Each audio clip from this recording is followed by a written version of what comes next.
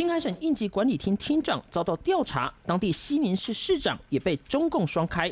习近平大刀开闸青海省高层，所有源头指向他。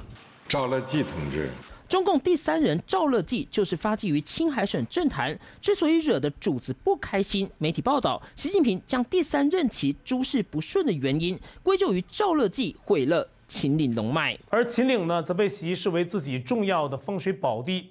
中共风水上认为有三大龙脉贯穿北中南，秦岭就位在龙脉之首。过去阿房宫建造，秦朝灭亡，唐朝修建华清池，安史之乱紧接而来，让过去帝王对龙脉说法深信不疑。习近平本人深信风水，相信气功修炼这些事。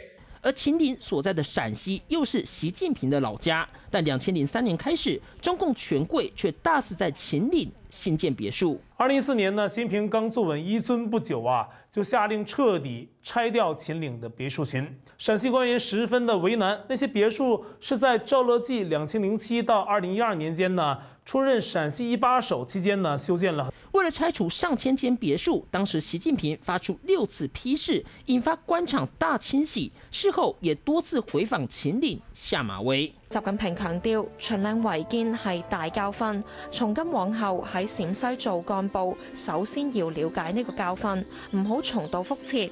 赵乐际过去有江派护航，成为七人常委中少数获得留任的官员。如今习近平一人独大。不论整治青海是否真的是因为龙脉被毁，中共在国际兴风作浪，再好的风水恐怕都毁在中南海这一潭火水。三立新闻上头报道。